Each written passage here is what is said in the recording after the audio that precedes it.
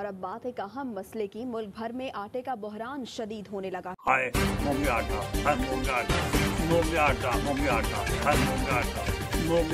आवाम परेशान है। आटे की कीमतों में इजाफे ने आवाम की मुश्किल बढ़ा दी है।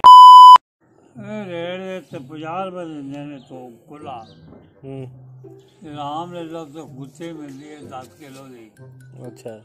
वो मिल रही है थी चालीस। इन्हों को जो 30 40 ਦੀ ਇਹਨਾਂ ਕੋਲੋਂ ਜੇ ਉਹ ਉਹ ਗੱਡੀ ਵਾਲੇ ਕੋਲੋਂ ਤਾਂ 20 ਦਿੰਦੇ ਨੇ ਬਸ ਇੰਨਾ ਫਰਕ ਹੈ 10 ਰੁਪਈਆ ਦਾ